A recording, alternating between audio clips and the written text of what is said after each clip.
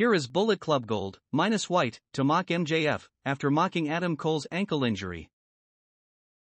He's supposed to be some generational talent, but the best he could think of was tofu. They call out MJF to come out here and face them like a man, so cue MJF. We get some insults about various body parts, and MJF has the fans chant both insults. MJF lists off some things he's done over the years, but he didn't attack White.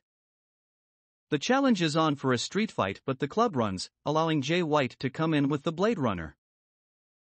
White takes the title up to the stage and talks about how MJF is nowhere near elite. The challenge is made for Full Gear and MJF is in. These segments still aren't hitting the high points like you would expect from these two working together.